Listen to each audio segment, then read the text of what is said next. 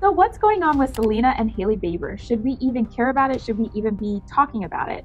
Yes and no. So, for the yes, if people have a prominence in the world, a platform where they're reaching millions of people, they have a special standard that they should hold themselves to, i.e., promoting being kind, love, joy, peace, all those things, definitely not bullying. So, under all circumstances, they should go out of their way to make sure it's clear that their platform is being used to promote those good things and not negative things if it mm. was unintentional.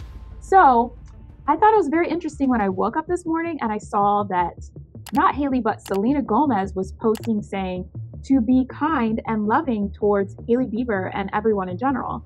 Of course, we expect that from Selena. She is a kind person, all these things. I don't personally know Hailey, so I have nothing to say about that. But I do know what everyone is saying about her behavior and the message that other people are interpreting from things that she has posted on the internet. So, what I would actually expect would be for Hailey to come online and say, Hey, I'm sorry for doing that. I promote love and kindness and joy and peace going forward. I am not a bully or I don't want to be a bully. I, you know, you, you get what I'm saying? Like saying bullying is wrong.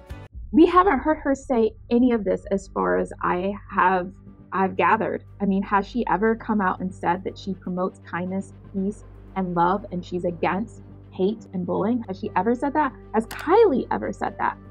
Why is it so hard to get online and promote a good message?